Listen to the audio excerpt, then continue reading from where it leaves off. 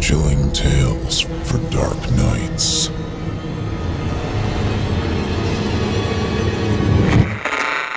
Want to make sure you never miss a Chilling Tales for Dark Nights video again? Be sure to subscribe and hit that bell to turn on notifications. The following program is intended for mature audiences and may contain strong language, adult themes, and content of a violent and sexual nature which may not be appropriate for everyone.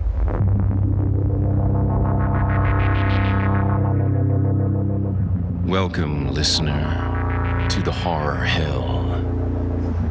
If it's the darkness you seek, you won't be disappointed.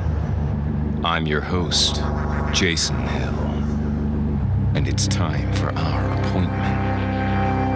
In this place, there is no sun, and nightmares do come true. Here, instead of shadow falling, the shadows follow you. Consider getting comfortable before the air grows colder. Prepare yourself, if you dare. Come, inch a little closer. If darkness is what you're after, seek no more. Your search is through. You haven't found the darkness, traveler. The darkness has found you.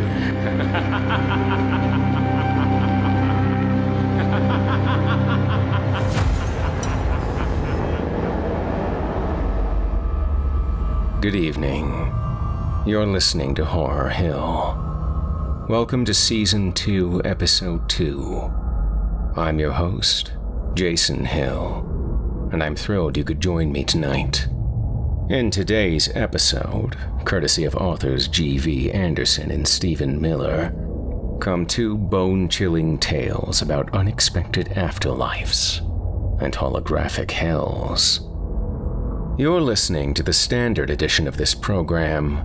If you'd like to show your support and enjoy ad free versions of this and all our other episodes, as well as hundreds of tales from our audio archives dating back to 2012, visit simplyscarypodcast.com and click Patrons in the upper menu to sign up today to get instant access from our friends at Chilling Tales for Dark Nights. Thank you for your support. Now, without further ado, allow me to escort you to a place where the sun dies and nightmares come to life, where those who seek the darkness need look no further. Welcome, listener, to the Horror Hill. You haven't found the darkness. The darkness has found you.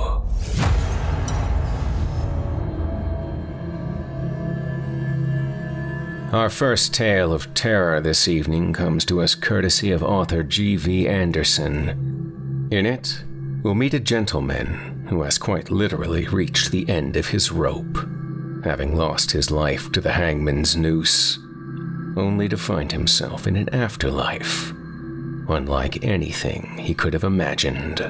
That, however, turns out to be the least of his concerns as his first thoughts settle not on his own plight, but on that of his brother, who preceded him in death two days earlier. When he learns of his brother's fate and whereabouts, he sets out to make things right in a world where everything is wrong. Without further ado, I present to you Crook's Landing by Scaffold.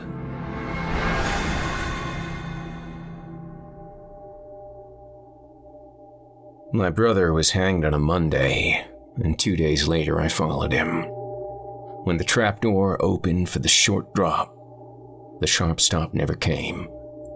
Instead, my soul slithered loose from my body, and I fell into darkness landing with a crash atop a mountain of junk.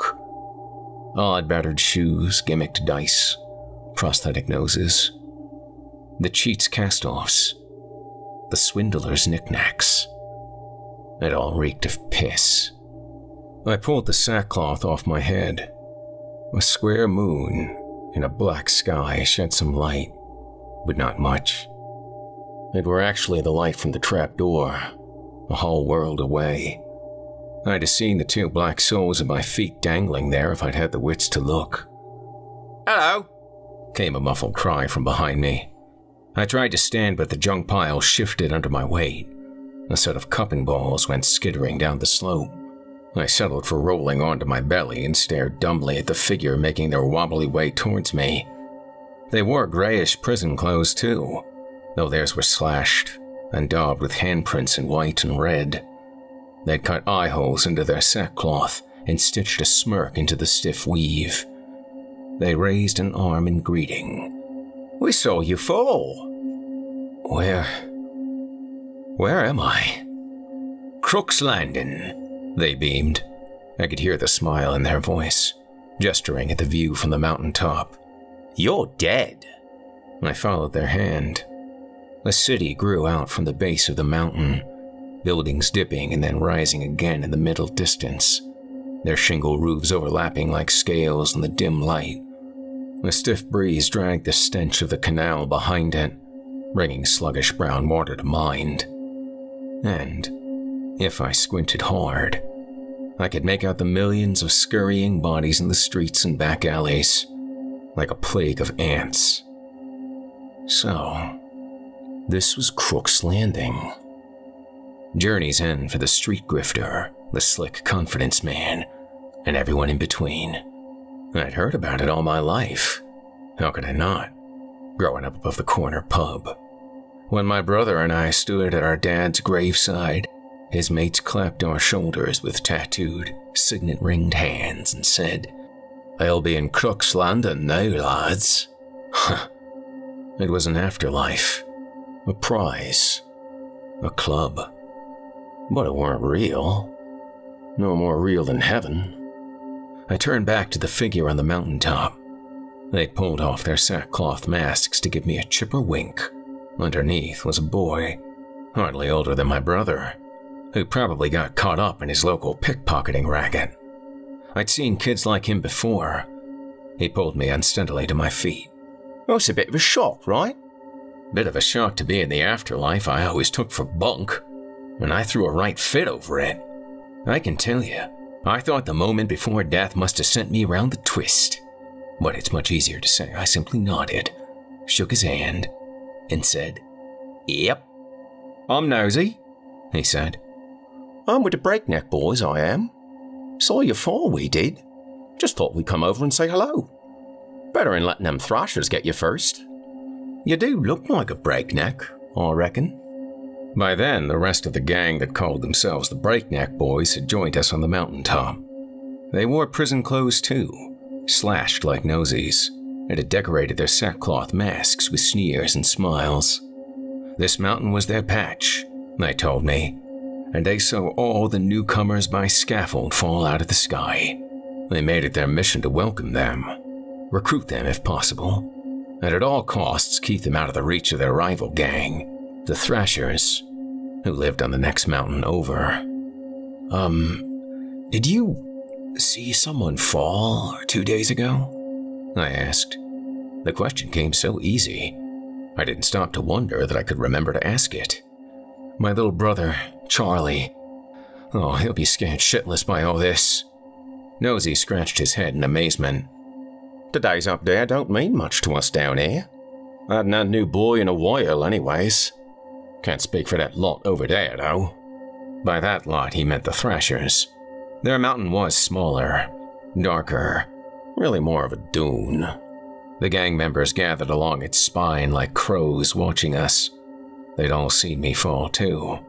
Perhaps they'd seen Charlie. I told Nosy and the boys that I had to ask them, and Nosy agreed to show me the way. Will you join the breaknecks when you get back? said one of the boys and I had to shake my head.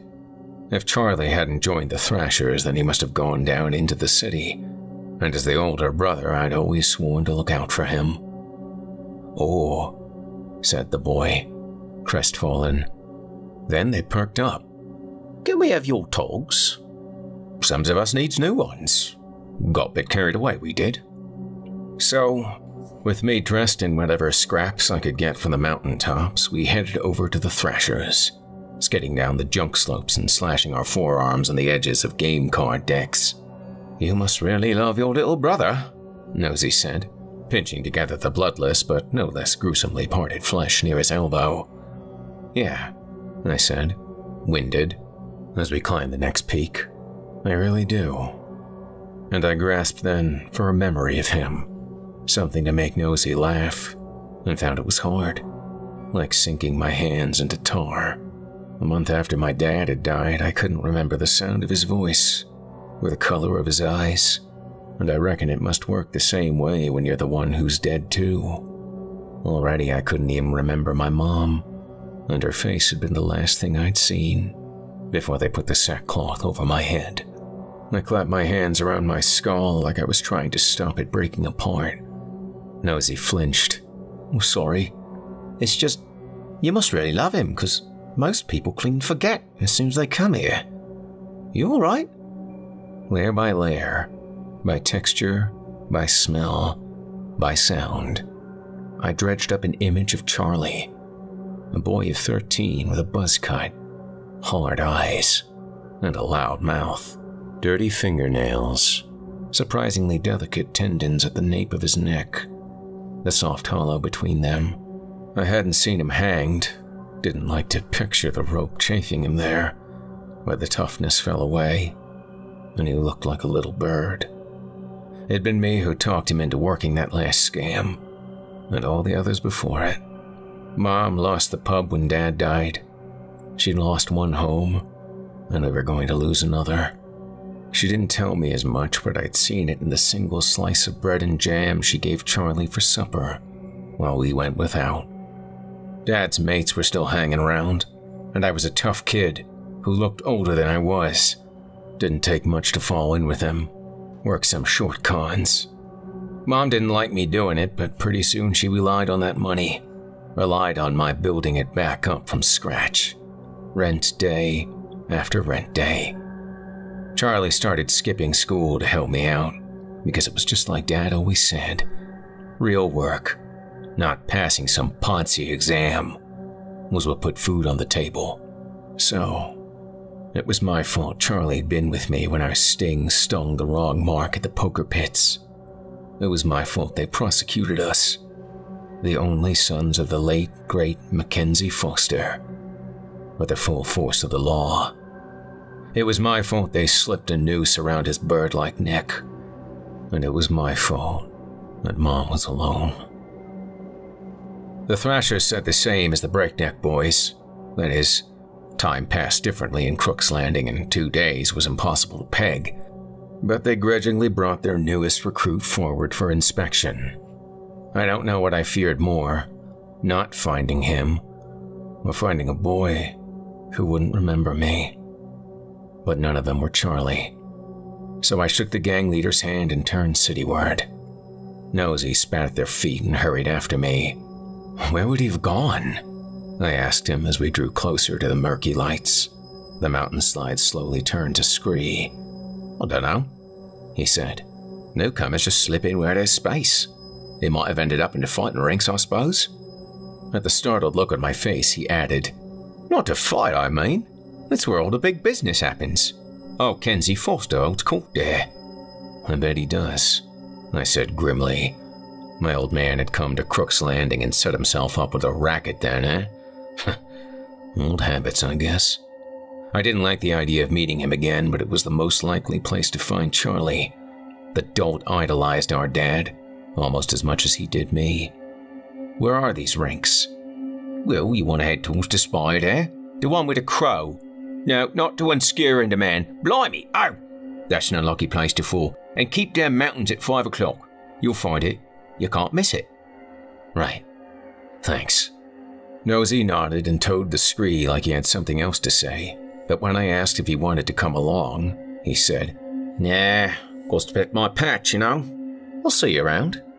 I guess. As I crossed the bridge that spanned the canal, I glanced back at him. Dwarfed by the mountain of junk, he looked tiny and lost, like a boat snipped loose of its moorings.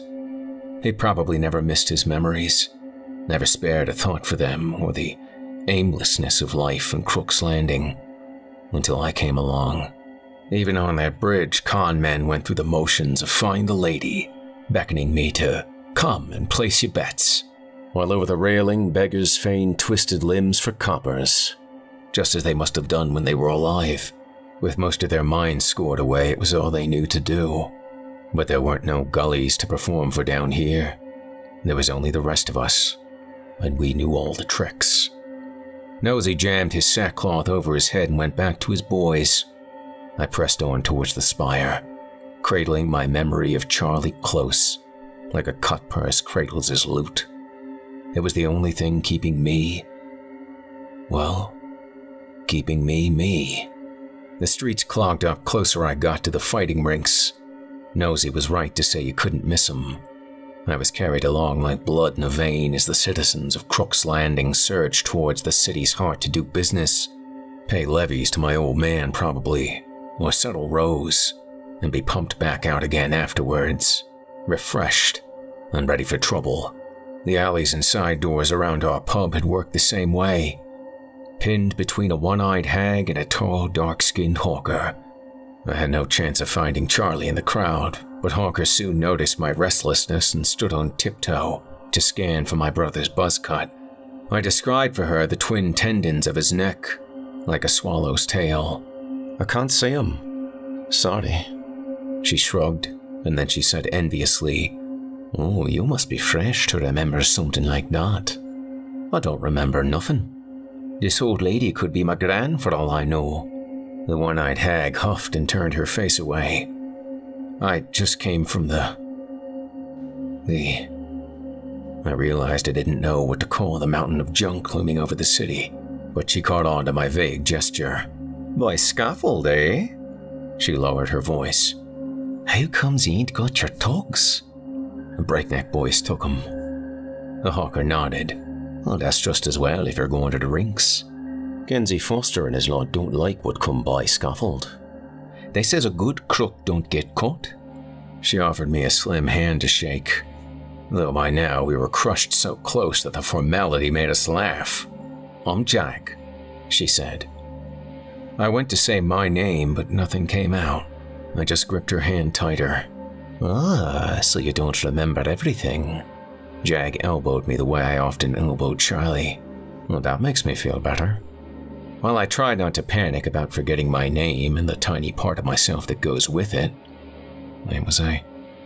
Was I Bill? Barry? We turned with the crowd into the gawping entryway of what looked like an old meat market. The roof was made of ironwork that would have let in a fresh breeze and some pigeons if Crook's Landing had any. And stalls had been squeezed in along the walls, upper walkways, and across the floor, peddling. What? Hmm. What do you peddle to people who don't eat or sleep or remember anything except how to wring money out of an unsuspecting mark? Some stalls sold clothes or wigs. Others upcycled the kind of junk I'd crash landed on. Others ran transparent scams like games at a fair, or hawked dodgy ointments for things like baldness or athlete's foot.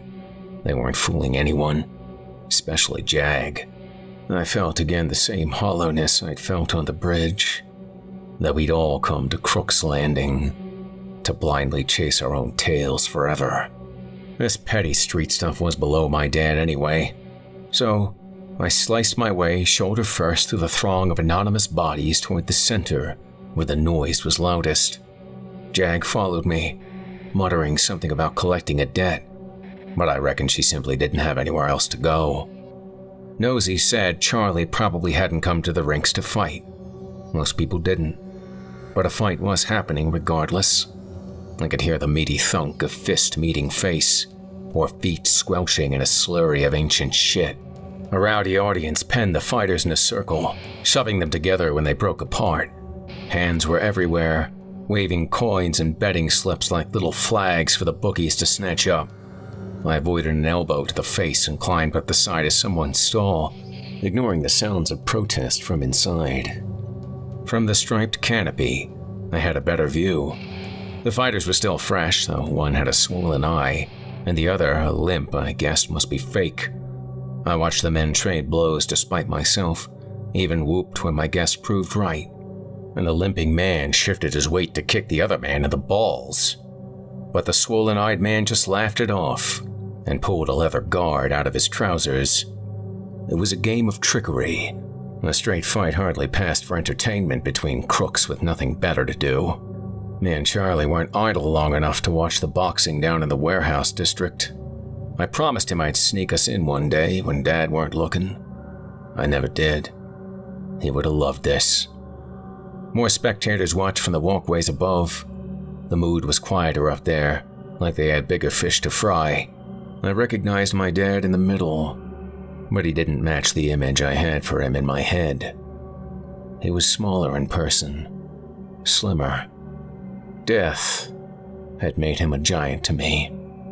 His long brown hair was all plaits and wooden beads, and his two gold front teeth gleamed, just the same way they gleamed in the dark of our room when he came to kiss us goodnight. His breath had smelt of copper, of blood, of palms and dirty coins. Jag followed my gaze with a frown, then shot me a warning look as I hopped to the next stall and the spiral staircase nearby. Two lackeys blocked the way up, but I knew them. I need to see my dad, I said over the roar of the crowd. Who? They snorted when I told them. Old Kenzie ain't got no brats. Now clear off! My chest was tight. But he does! Charlie and. And me. He died when we were just kids, and you. I pointed to the one on the left. You died in the shootout with him, right? Your name was. Your. Your name. But it wouldn't come. Their expressions turned odd. I looked at the right hand one who flinched. You. You used to collect rents from my dad and drink pints of bitter in the pub afterwards. You. You used to. You used to peel all the designs off the back of our coasters, and my mom went mad because we got them printed specially. Charlie liked picking the scabs off of your knuckles to see if you'd react. oh, come on! There was no dawning recognition, no smile of acknowledgement. But it was like I'd smacked them with words, because they let me through in a daze and took me to my dad. And he brushed me off too, until I told him about Charlie's thin flannel pajamas patterned with ducks, the silver studs he'd bought me when I turned 11 that stained my lobes green, and how the pub carpet always got gummed up with spilled beer and fag ash. I knew then that Charlie couldn't come to him, or he'd remember all this already. Wouldn't he? I trailed off. My dad was still looking at me like a stranger, but he gripped my shoulder and took me with him when he and his racket finally left the rinks. He'd made the harbor his stomping ground, on the far side of Crook's Landing. The journey there felt as long as the walk from our flat to the square where I'd been hanged, and Mom had moved as far away from that life as she could afford. Distance made the mountain of junk look half its height, but space works strangely here. If I stood on the jetty out to sea, the farthest I could go from the mountain without wetting my heels, and squinted really hard, the miles would fold in on themselves, and suddenly, Nosy and the boys would be right there, waving to me. My square moon, my entry point, still hung in the sky above them. Time hurt my head too, because how can you mark time when the light never changes? When there's no tide, no ticking clocks, no pulse. I explained to Dad that Charlie arrived two days before me, but the longer I spent here, the more I understood his confusion. Never mind Charlie. How long had I been here? A month? A moment? Crook's Landing, for all it seemed real, could be a dream playing out in my head in the seconds it was taking my neck to break. How's your mum? My dad asked vaguely while eyeing a fake diamond. I don't think he remembered her really. He was just asking because he supposed, as his son, that I must have one, and he should ask. It's not like he remembered her when she was alive, neither. he'd valued his name more. She's fine, I said. She lost her sons and her main source of income within a week, and before that, she'd been left a penniless widow. But yeah, sure, fine. He grunted. You both followed in my footsteps then. Yeah, hadn't left us much choice. Charlie's smart though. Should have stayed in school, might even have won a scholarship. He and his cronies got a laugh out of that. You can't be too smart, neither of you. Snuffing you so young. What happened? Jag had warned me about my dad's dislike of newcomers by scaffold. I sketched out that final sting in the poker pits for him, the one that got us caught. The look on the guy's face when he realized we duped him. The look on Charlie's face when we realized we had the wrong man. The back doors of the poker pits that opened inexplicably onto kitchens or cold, dry rooms full of hanging pig carcasses. We got lost. I had to fight a few bouncers off. I think Charlie hit one round the head with a chair. Then I made up some stuff about being tackled just as we got clear of the pits and getting shot later at a sleazy clubhouse, and sat quietly while my dad listed everything we'd done wrong. We'd aimed too fucking high, he said. He flung the fake diamond across the room in disgust, hitting a lackey in the face. His temper hadn't changed then. I used to cover Charlie's ears at night when he really got going, when Charlie grew old enough to be scared. I was scared too. But unlike now, I had a little brother to distract me. You're shot though, eh? He cooled and leaned back to look out the window overlooking the harbor. Same moon as me, then? Same what? Same moon, you idiot! He jabbed a finger towards the sky. A bullet hole. Yeah, the moon's the way you come in, right? But he was a shade of a man he'd been, for all his raging. Pity replaced fear pretty quick once I'd hung around long enough to see him go dead eyed like the rest of Crook's Landing. He only looked lively when someone said his name, but in a way like he didn't quite know why. I lingered on the edge of the world in case Charlie turned up, killing time by watching the dark boats pass by far out to sea, but he didn't. And the longer I waited, the longer this place worked on me, the less I cared. I still remember the details the duck pajamas, the bread and jam, but they were becoming as random and disconnected from me as the bits of shell and seaweed scattered across the shore. Jag drifted into the harbor eventually. You didn't tell me Kenzie Foster's your dad. She sat with me at the end of the jetty. You ain't looking so fresh now. Did you not find him? Who? Her mouth thinned. Your brother Charlie. Got a neck like a swallow's tail. When I looked blank, she walloped me. Don't you be going feather brained on me now, kid. I've been going round asking after him and all. Don't tell me I've been wasting me time. Charlie. Charlie. Charlie, yes! How could I have forgotten? Had he fallen in with some scruffy kids by the canal? Got picked up by a slumlord with wandering hands. Wherever he was. He was dead at 13. I was right. He should have stayed in school. My fault. I liked it us foster boys working together. Handing our combined spoils to Mom at the close of each con felt like giving Dad the finger. What if Charlie had stayed in school, he'd be alive, educated. He'd put a hold down a proper job. He'd have kept our mom much better than I ever did.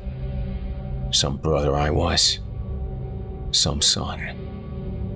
My square moon still hung over the mountain, with my limp feet dangling halfway between that world and this one. I told Jag how they'd hanged him. They might have shared a noose. Jag listened, watching our own private sky. You know, asking about Charlie's giving me noggin a good prod or something.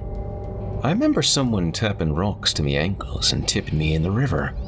I sank, and I sank, and I never hit bottom. Just fell out here and she didn't sound sad, but happy. Happy to remember something about herself. She sniffed wetly. Water slapped the stilts on the jetty. The harbor had always been silent. I leaned over and watched the water bob and curl against the wood where before it had been all as still as glass. What's that? Jack said, pointing out to sea. A boat was sliding towards us. One of the dark ones, from out where the water met sky. Its passenger was cowled, and something in my gut told me this weren't no human soul, but a native creature of Crook's Landing. The prow bumped against the jetty, and the creature turned to face us. Its gaze was cold. We've all heard you calling for your brother, we did. It said, tapping its chest. We are touched by your bond. I was still on my hands and knees. I gripped the end of the jetty. Silk stung my palms. Do, do you know where he is? Is he all right? Charlie Foster fell for. Landed himself in Cutthroat Cove. I glanced up at Jag. She gulped. Cutthroat Cove is to murderers what Crook's Landing is to us. You ain't told me he killed no one. I scrambled up, fists clenched. He hasn't! The creature lifted a finger. He took a man's life before the end of his own. He's already told us how he struck him down. They died shortly after. The frantic escape from the poker pits. The bouncers. I heard again the dull crack of the chair hitting the guy's head. A sound I'd taken for breaking wood. It would actually been bone. I raked my nails down my face. But. But listen! He don't deserve to be lumped in with murderers. It was an accident. He's just a kid. Mom had let me feel her belly the first time he kicked. He was strong. With him, it wouldn't be just me and Mom against my dad anymore. I was only four, but I swore to look out for him, didn't I? Since then, since then, I'd done anything but. So I thumped my chest I'm responsible for that man's life. I'm the reason Charlie was there. I'm the one who should have known better. You have to. You have to let me take his place. You can't, Jack cried. We accept. Seriously? The creature inclined its head. Charlie Foster's young. Cutthroat Cove does not suit him. Yet, a life has been taken, and its place must be filled. Come with us now, so that he can be restored to the living world. Living world? I frowned. How is that possible? He was hanged two days before I was. He died. Oh, did you hear the bones of his neck snap? The creature asked. Did you watch him cut his body down? I had to admit I hadn't. We'd been kept apart in prison, and my cell had no windows. The sight and sound would have driven me mad otherwise. Small mercies. All times existed once in death, it said. And Charlie Foster's neck did not break. His breath has been stopped by a moment. Although that moment has been enough. We'll arrange for a last minute reprieve on accounts of his age. He will be cut down, and he will soon forget us. You can do that? The creature nodded. How's else you think peoples would know to take the name of this place back with him? As I tried to breathe. Well, I don't need to breathe. That's just a habit, I'm dead. Jag gripped my arm. I started remembering myself, and it's you what done that. I don't want to forget again. None of us do. I held her hand. Over on the mountain, the thought of Charlie was spreading through Nosy and his boys like wildfire. In the darkest corner of the fighting rinks, my dad's cronies muttered about a boy who picked at the scabs on their knuckles. In his workshop, Mackenzie Foster recalled the day he hammered a nail through his oldest son's lobes to pierce them. On the bridge spanning the canal, a one eyed hag whispered about a swallowtail neck. She would soon peer up at the sky, her head tilted to favor one side, and think. Swallows. Birds. Remember those? Crook's Landing was waking up. I don't think you'll have to worry about that ever again, I told Jag firmly, and something about my tone told her it was okay to let me go. I climbed into the boat.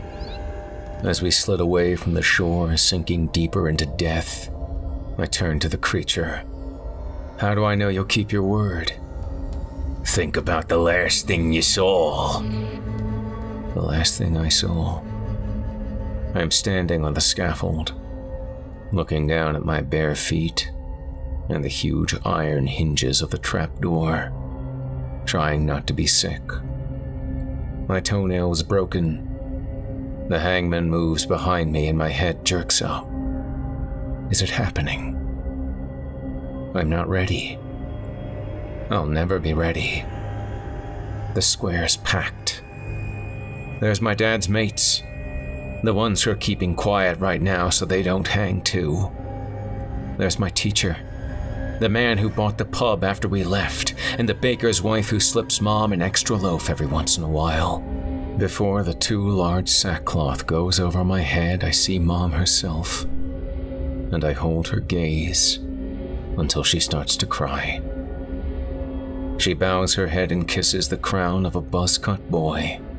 Her arms cross his chest, pulling him close. His neck is raw, same as his smile.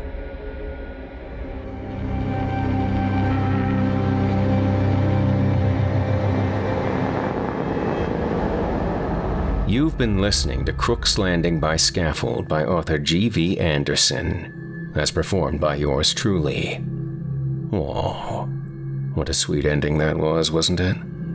much sweeter than the ending of a rope. But it makes you wonder just what our nameless hero has gotten himself into, surrounded by ruthless criminals of a far darker persuasion. And it begs the question where will you and I find ourselves when we reach the end of our own ropes?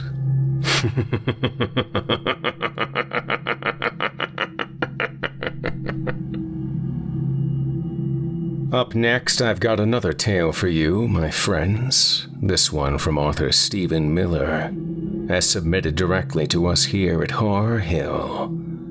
In it, we leave behind the fantastic, otherworldly realms of the afterlife and explore a path on the opposite spectrum. Where might we end up, do you think, when instead of dying, we instead try to live forever? For our protagonist, a bug tester of an immersive virtual reality experience, his job is just that. But what happens when things in Wonderland get too real? Stay tuned and find out. From author Stephen Miller, I present to you Beta Test.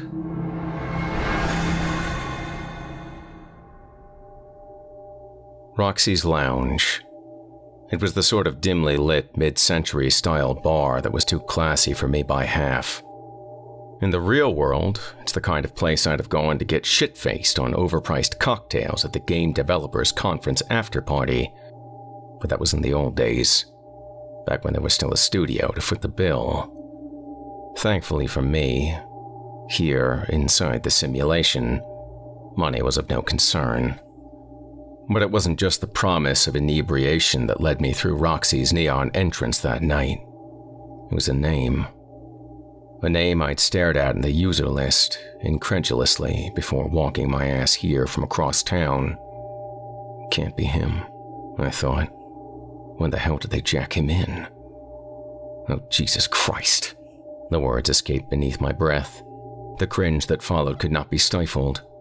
All I could do was avert my gaze to the ebony hardwood floor and let the involuntary expression run its course. When I unbuttoned my face, there he was, sitting at the bar. Mad Cow. I waved away my holographic display.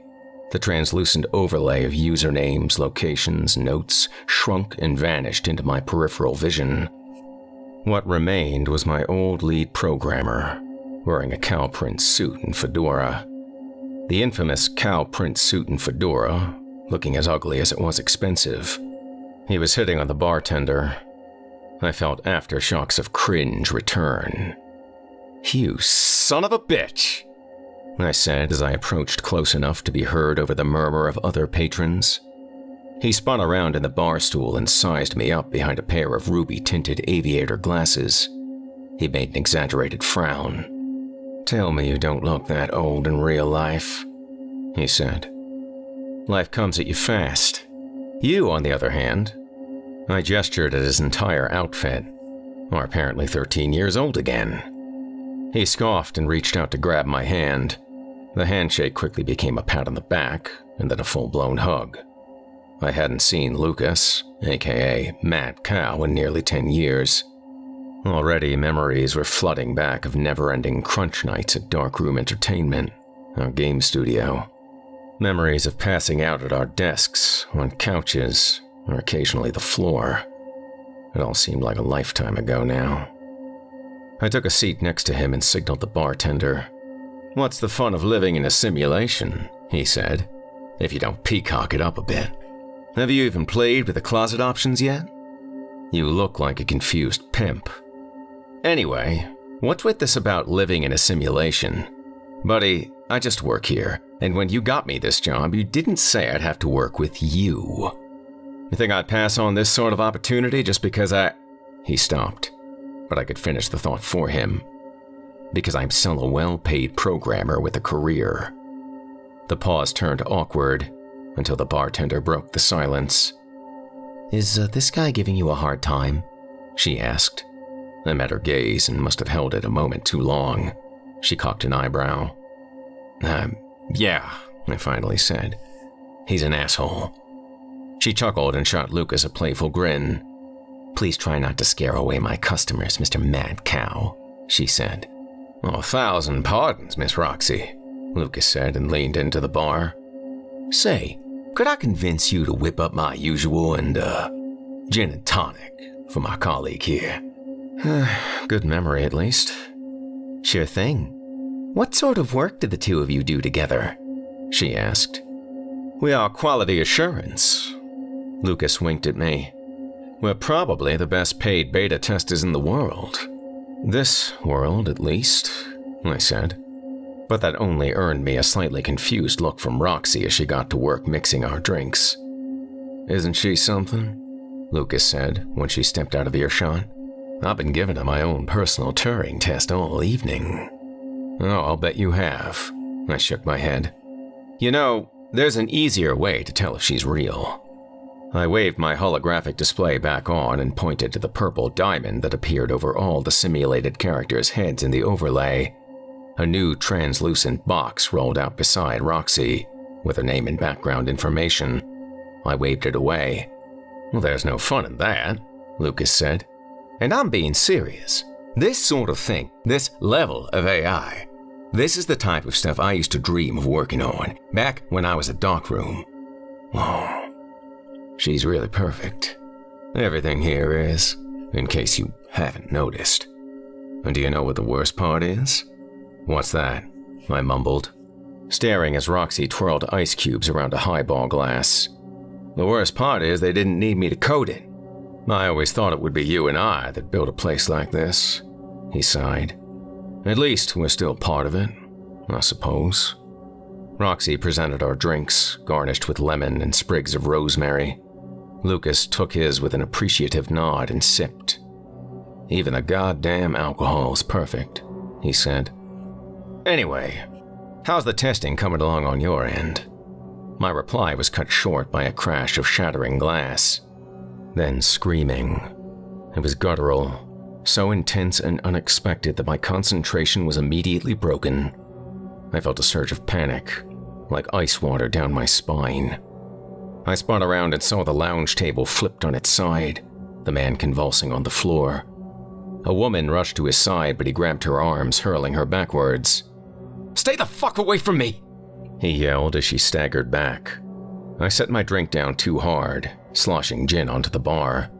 With my hand free, I flicked my overlay back on, confirming that the people were also human testers. Lucas was already on his feet, rushing over to help. I followed after. I can't breathe, the man screamed. I can't fucking breathe. Oh, God, wake me up. Wake me up. None of this is real. None of this is real. God, it's freezing. I'm drowning. I'm drowning in the fucking pod. Let me out. What happened? Lucas asked the woman. She looked frightened. He was fine a minute ago, she sniffled. Suddenly he thinks he's dying in real life. That I'm not actually real because I'm not feeling it too, I guess. Sounds like ASS, Lucas said, staring down at the man. Ass? I blurted out stupidly. No, idiot. Did you even read the forms they had us sign? Acute solipsism syndrome. It's a potential risk of total immersion. Lucas knelt down beside the man who was now shivering with his head propped uncomfortably against the leg of a lounge chair. Hey, buddy, Lucas said. You're gonna be alright. You're not drowning. You're breathing just fine in real life. They told us to watch out for these symptoms, remember? Nothing serious. You need to get up so you can report it. The text would be helping him if there was really a problem, I said to the other tester. It came out more like a question than a statement. She gulped and nodded. I saw a familiar face over her shoulder. Mara. Mara was sitting back at the bar. Her long dark hair framed a strange expression, something like pity, as she watched the commotion. I thought for sure she'd step in to help. The simulation was her project, after all. But instead, she took what appeared to be a martini from Roxy and drank it in a single gulp. After that, she said something to Roxy I couldn't hear, stood up, and left. You're really here, Lucas assured our colleague, still playing the role of paramedic. Try remembering how you got here. I looked back at Mara's empty seat. Roxy was wiping down the counter. I felt a pit of unease settling in my stomach. Remember how you got here, I thought. The elevator ride was so long that I nodded off. I woke up startled, like I'd been falling, and shrank with embarrassment. If the other people packed into the freight car had noticed, they spared me any acknowledgement. The only one looking at me was my own bloodshot reflection in the elevator's chromed paneling. Jesus. I looked like shit. Fucking jet lag. But how long had we been descending? I barely finished unpacking when the Foundation staff knocked on my door. They ushered me downstairs with the other prospective testers into the basement of the mountain lodge. From there, we boarded the elevator. It was minutes ago, but it already felt like yesterday. I giggled stupidly, remembering the excruciatingly long load times in most of Darkroom's games. It became something of an inside joke to trap our players inside elevators as a new level was loading. It was a necessary evil to maintain immersion. Some of our more masochistic fans even found it endearing. So, is this where you've hidden the loading screen? I said to break the ice. No response. Either these weren't gamers or they too were jet lagged past the point of zombification. Or maybe I'm just not funny. No, that is much further down, the woman finally said from beside the controls. She faced me and smiled knowingly. Well, at least she looked to be well rested. Flowing black hair draped down her lab coat to the edge of her name tag. Dr. Mara Drost. It's getting really cold, the man said. I realized I could see my breath and wrapped my arms together. It has to be cold for the computers to function, Mara said. That's why all the servers are kept so far underground.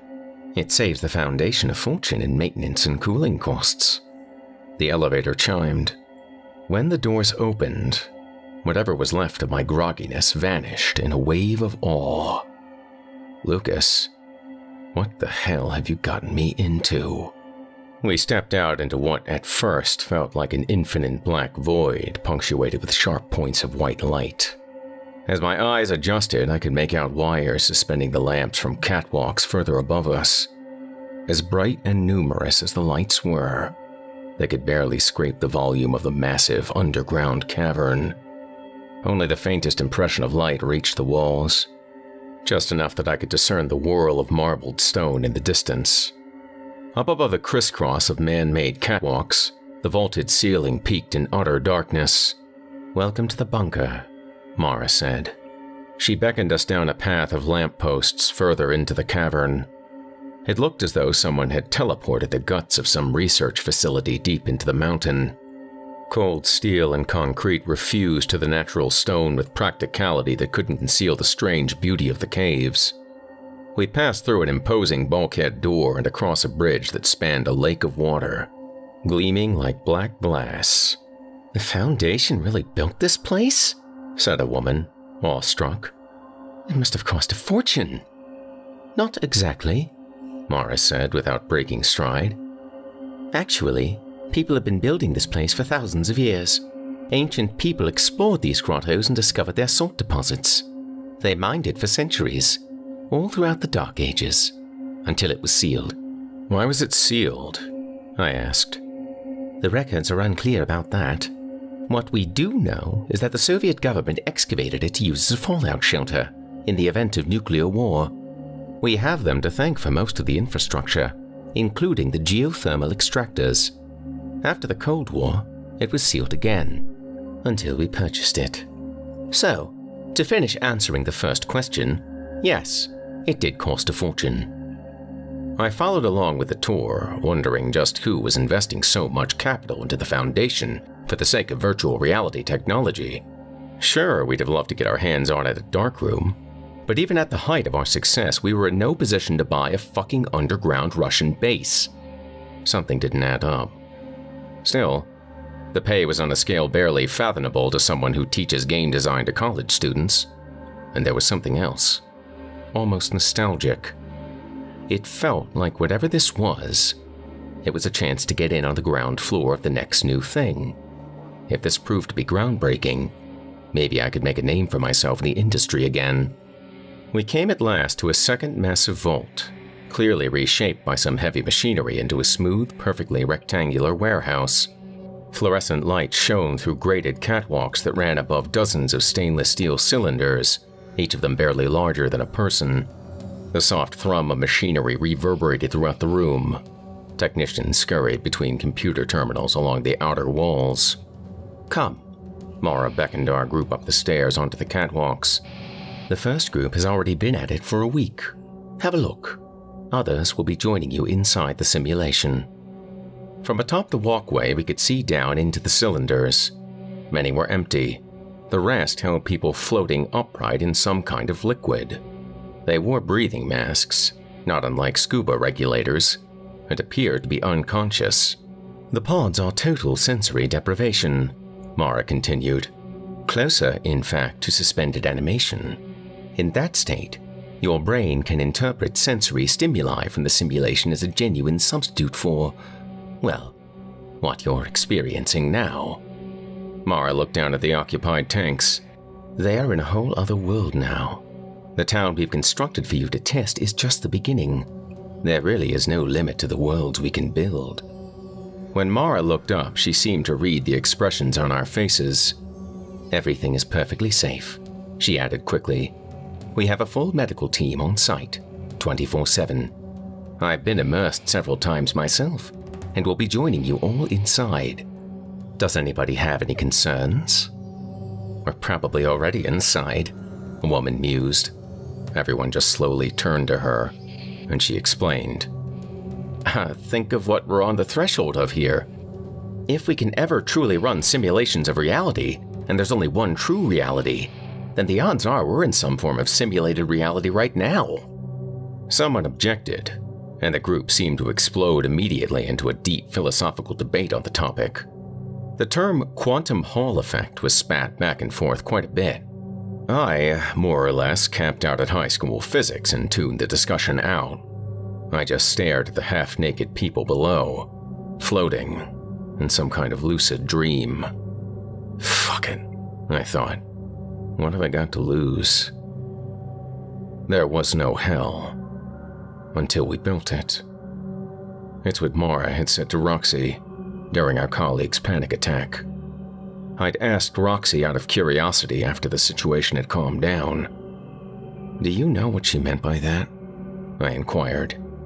No idea, Roxy said, and then asked if I wanted another drink. Oh, I am. Um, I really should get back to work. I declined. All right then. Good luck with the beta test. She winked at me. I left Roxy's alone to continue my nighttime exploration. There was no rules to this job per se. We just had to spend our time in this place however we saw fit and report any flaws in the experience. I decided that to give myself some structure, I would pace out the boundaries of this town. It was modeled as a quaint little resort settlement in the mountains. The street outside Roxy's followed a bend around the edge of the town. Storefronts faced a low cobblestone wall on the other side of the road. Beyond that, the hill sloped down into a procedurally generated forest of pine trees that stretched out to a foggy horizon. It was clearly based on the real terrain above the bunker, but the town itself was a work of fiction. I strolled from streetlight to streetlight, dragging my fingers along the rough texture of the stone wall. A mild breeze rustled the silhouettes of trees and brushed gently over me. I closed my eyes and breathed the fresh, evergreen scent in deeply.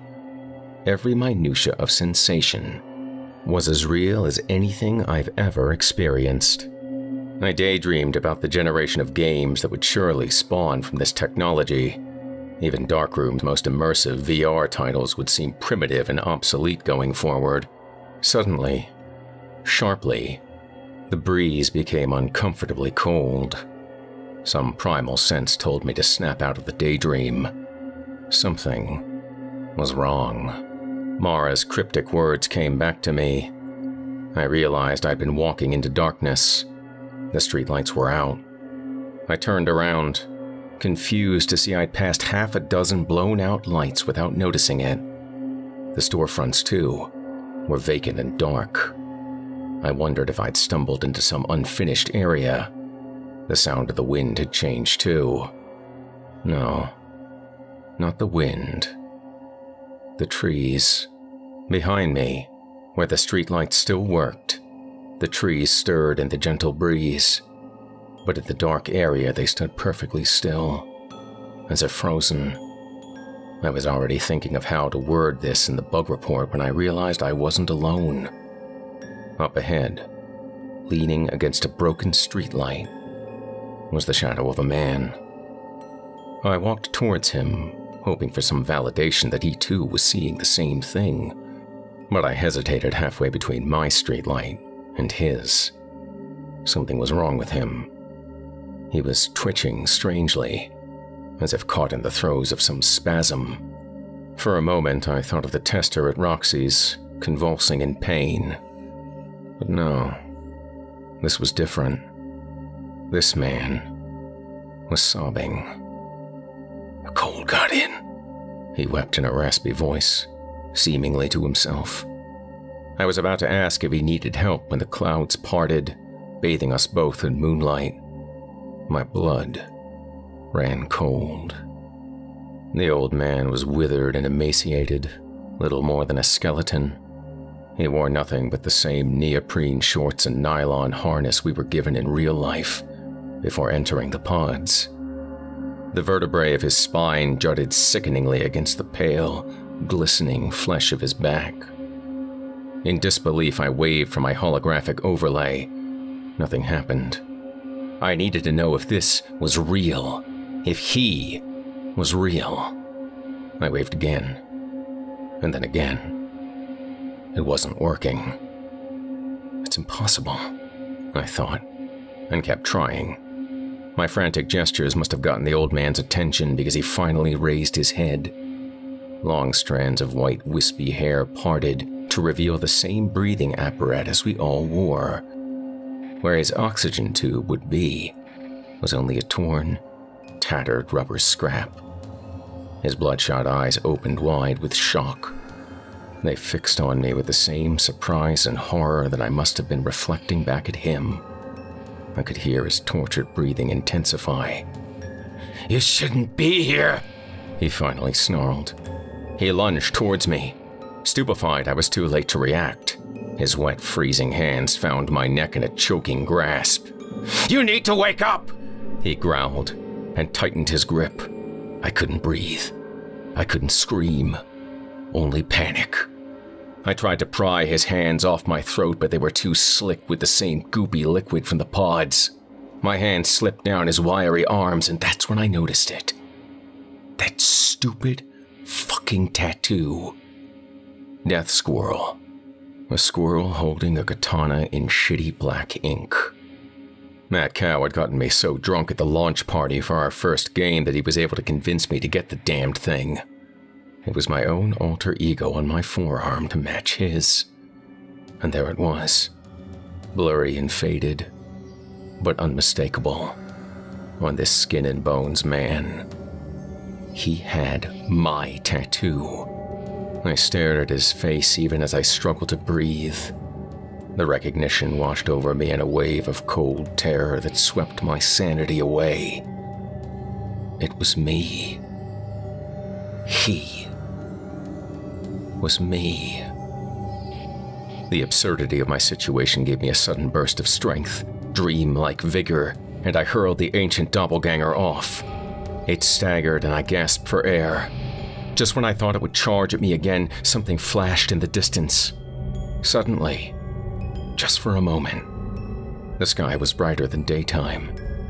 The abrupt brilliance stunned the creature and it stared horrified at the source beyond the horizon. No! It whimpered at the lingering glow of the explosion. I seized the moment and ran. As I did, a sound like the crack of thunder smashed through everything. More explosions burst across the horizon like lightning. Every illuminating flash revealed the town as something else shattered ruins, desolate and decayed. They never finished yet! The creature screamed. They'll never finish it! Its cries became an incoherent wail of rage and agony, and then disappeared entirely in the roaring boom. When at last I made it back to the well lit area, the entire cacophony ceased. There was only the gentle sound of the breeze and a slight tinnitus in my ear. My overlay finally responded. I kept running as I searched Mara's location on the user list. I found her on the rooftop deck of the tallest building in town. She was sitting on the ledge smoking a cigarette and sipping wine from a crystal stem. She greeted me without taking her eyes off the panorama of the town laid out before her. That I was a frantic, gibbering wreck, gasping to catch my breath, didn't seem to faze her. I tried to explain what had just happened. She only faced me to refill her glass from a bottle resting beside her. Her wind tousled hair framed that same pitying expression she wore at the bar. What the fuck was that thing? I demanded. She shrugged dismissively and turned away again. She seemed to be staring at the shadowy part of town I just fled from. An anomaly, she said. Her lack of concern was exasperating. Hadn't she been listening? Didn't she care? I want out, I said firmly. Wake me up, now. She took a drag off her cigarette, then flicked ashes off the side of the roof. I'm afraid that isn't possible, she said. Dr. Drost, I said slowly. Mara, I'm sleeping in one of your pods. I know you can revive me. She seemed to find this amusing, but there was something else cracking in her persona, as if she were trying to cope with something herself. Was she drunk? I already did revive you, she finally said, a long time ago. What are you talking about? I said incredulously. We're right here. We literally just started. This instance just started she said, as if she were clarifying the situation. My confused expression must have told her otherwise. It's all so lifelike, isn't it? She continued, gesturing across the entire landscape. We had you test us to thank for that. It was an iterative process. Every time we reran the simulation, your experiences helped us tune it just a little bit more. We got a little closer to perfection. Every time. Well, that doesn't make any sense. I gritted my teeth. Mara was supposed to be the one professional we could all rely on. She was our lifeline. We trusted her.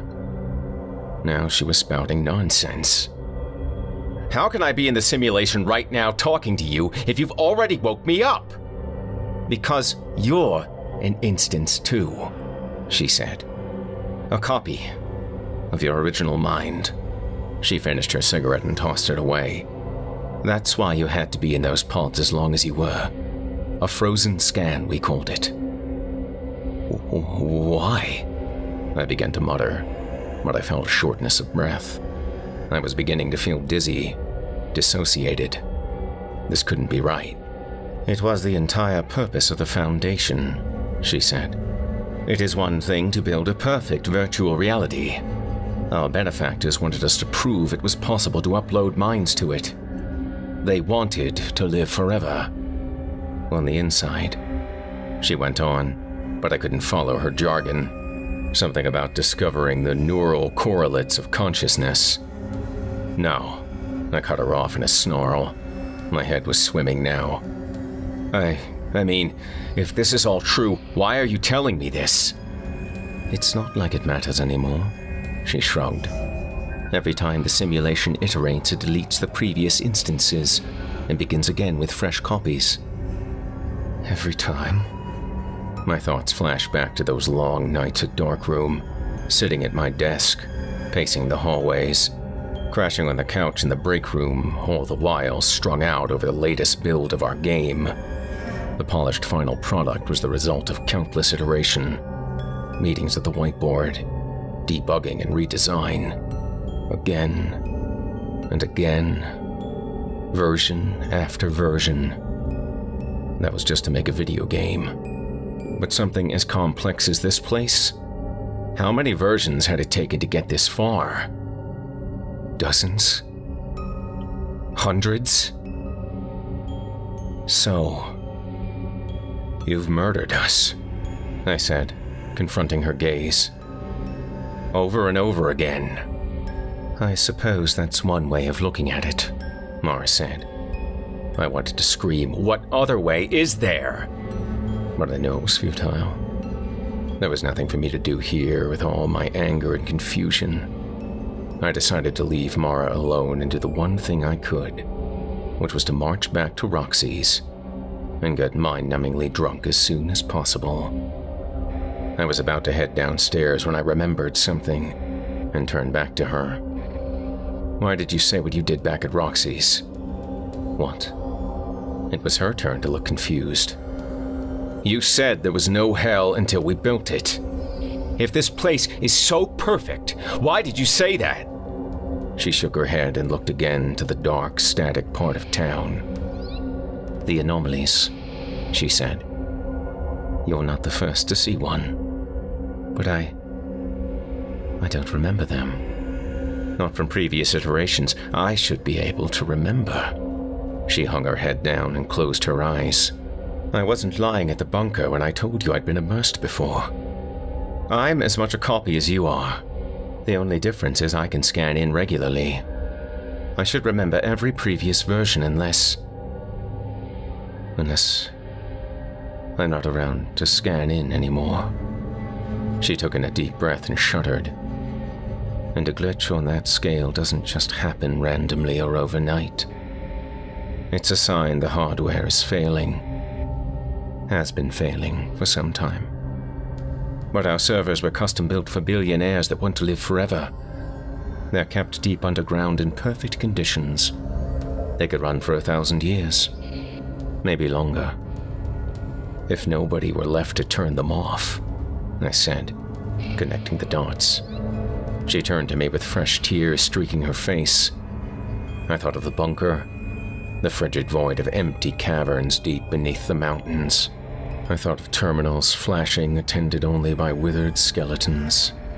Geothermal extractors whirred beyond ancient and ominous Soviet bulkheads. sealed now and forever against some outside apocalypse. And somewhere deeper still, within some still running computer, my own long dead ghost was still trying in vain to wake me up from a simulation stuck in an infinite loop. Out past Mara's gaze, the dark patch of town seemed to grow larger, the ink black tendrils of its desolation spreading from one streetlight to the next. The wind became chill, and with it came a distant sound. Faint, but familiar, like the wails of something lost and afraid. I waved open my holographic display and began a bug report. A S S.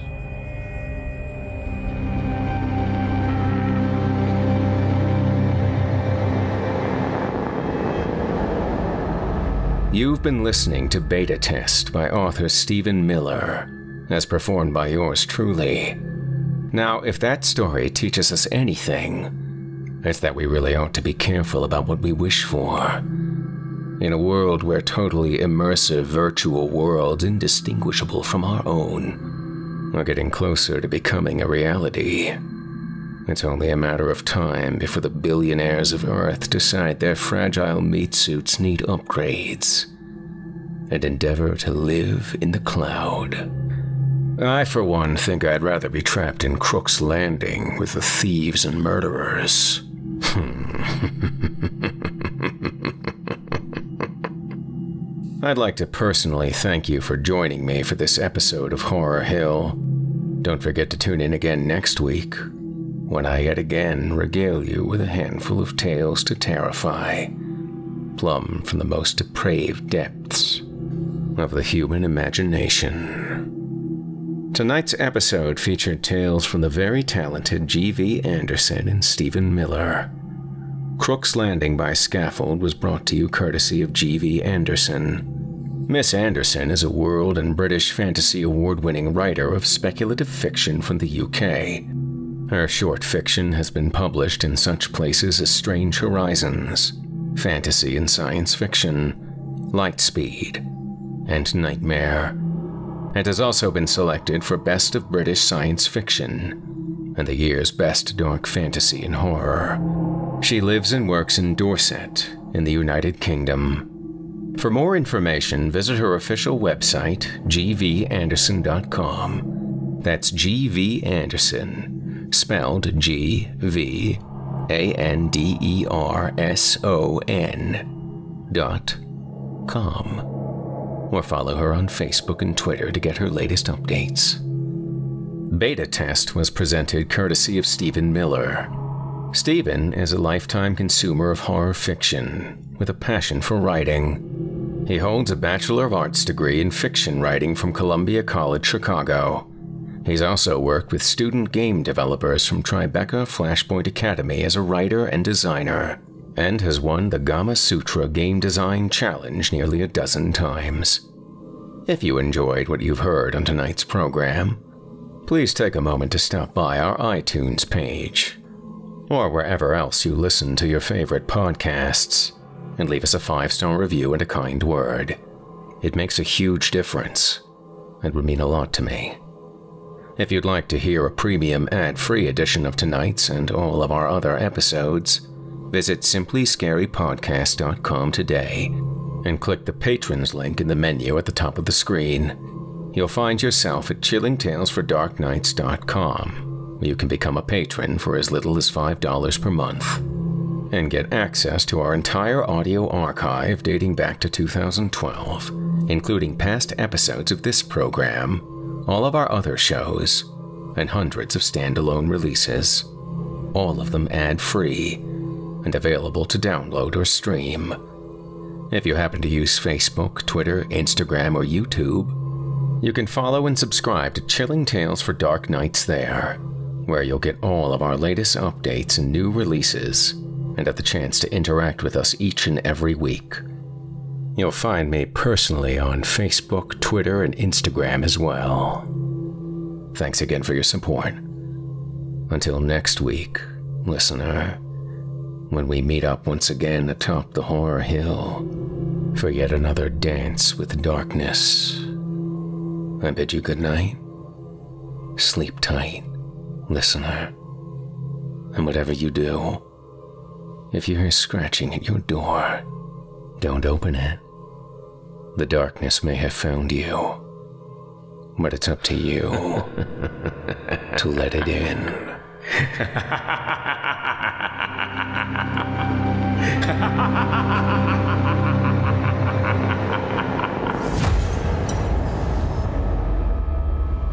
Thanks for listening.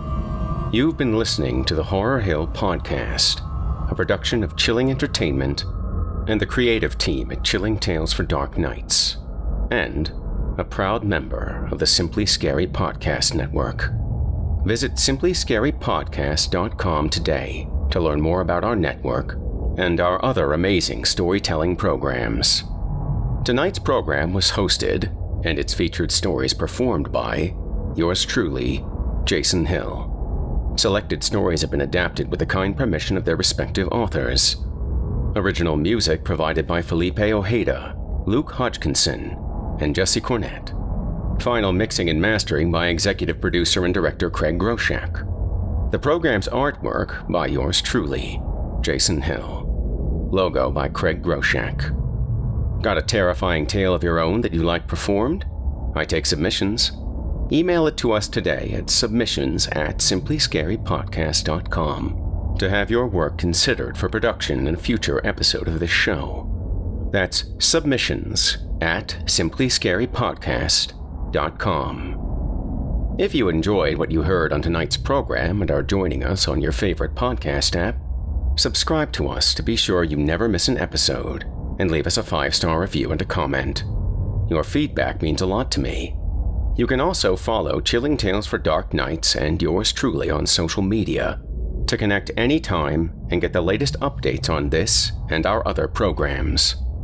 If you're listening on the Chilling Tales for Dark Nights YouTube channel, do us a favor and hit the subscribe button and the bell notification icon for Chilling Tales for Dark Nights as well to get more spooky tales from me and the crew, and another episode of this program each and every week.